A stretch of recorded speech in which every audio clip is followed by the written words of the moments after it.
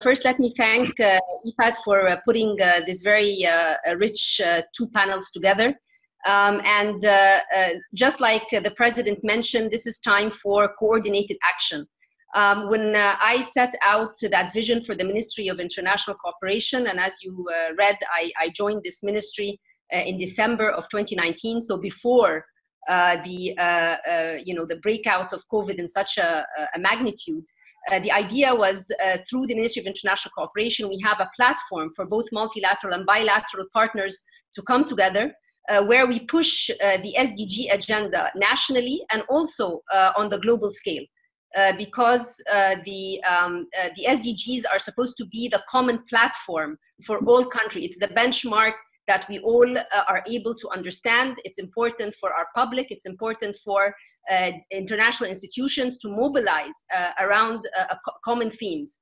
Uh, so when the uh, when the COVID happened, of course, we did not want at all to be derailed from our main objectives. On the contrary, this is actually the correct time, and there's no better time to bring everyone together uh, international institutions today play a, a magnificent and important role, uh, not just on the financing side, but organizations which have specialization uh, of uh, certain sectors, just as we are discussing agriculture today, uh, is extremely important to be able uh, to have all of us together where different country experiences are shared, where different multilateral institutions provide technical assistance uh, and uh, uh, vision on how to move forward on different topics is extremely timely.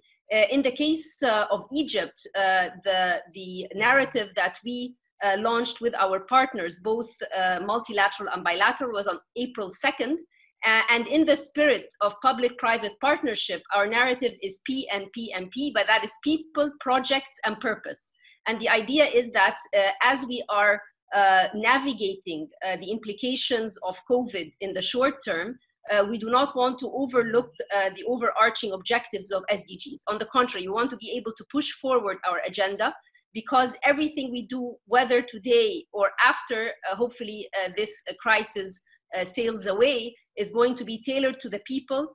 projects in action, and we actually have purpose as a driver. So, that is just uh, the, the way we uh, create a framework of collaboration.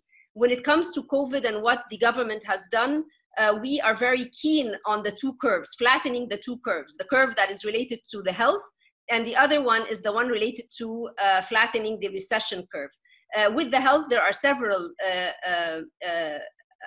actions that the government has taken uh, early on uh, with collaboration with the WHO, following protocols. There was tracing and isolation in field hospitals, etc.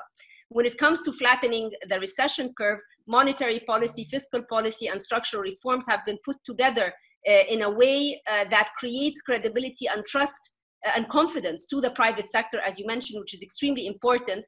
Uh, because in a sector such as agriculture and, and agriculture is important not just today at a national level, but the food security that uh, is important for the globe uh, necessitates that each national uh, uh narrative and each national policy uh, adds up so that everybody at the end is, uh, is protected. In the case of Egypt, in the fiscal stimulus that the government came out with in response to COVID, there is special programs for the agriculture sector uh, the uh, uh, when it comes to wheat, because we are a very big importer of wheat, there have been um, allocation of funds to the farmers in Egypt so that the production in the local harvest is basically taken care of in a proper manner. Uh, there has been digitalization of some of the elements with respect to information to the farmers. Sanitation has been taking place. Something else which is extremely important,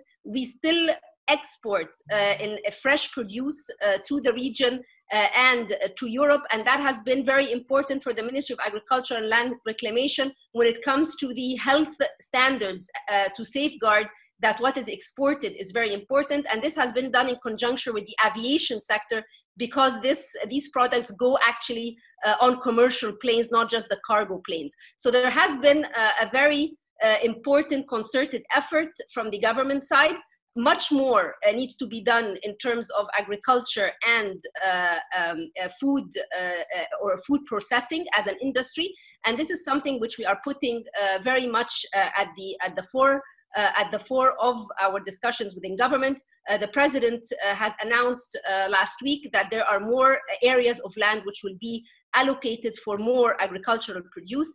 And just you know, to, to, to save time, I, I really want to commend the points that were made by the president when he talks about uh, the importance of digital solutions, the importance of rural financing, uh, trying to ensure that access to markets and disruption uh, of supply chains are taken care of, and also the youth employment. So these are these are all elements which are key for uh, each national government. And of course, um, uh, when it comes to uh, IFAD uh, and others trying to put a stimulus package for the agriculture sector, we as governments are here uh, to uh, provide input when we are asked so that these packages for the region, um, particularly that we were the head of the African Union until last month. So this regional integration is something that we care about tremendously. Africa, of course, has been singled out in the international community as a continent that needs to be taken care of because, uh, uh, uh, you know, after the great uh, prospects, uh, this really comes as a cloud uh, that affects very very many vulnerable groups, and therefore we are we would we would like to work together with you with other institutions uh, uh, to be able to come up with a concerted view on how uh, we help on the agriculture sector in Africa. And just the final words that were also mentioned by Rola from ESCWA, that debt relief should also uh, be targeted to middle income countries, not only low income countries, to be able to create that fiscal space to help uh, uh, the vulnerable groups, particularly in the agriculture and food, uh, is something which uh, is extremely important. And Africa as a continent uh, is one that needs special attention. I will stop here for the, for the sake of time. Unfortunately, I have a cabinet meeting that I have to also virtually join.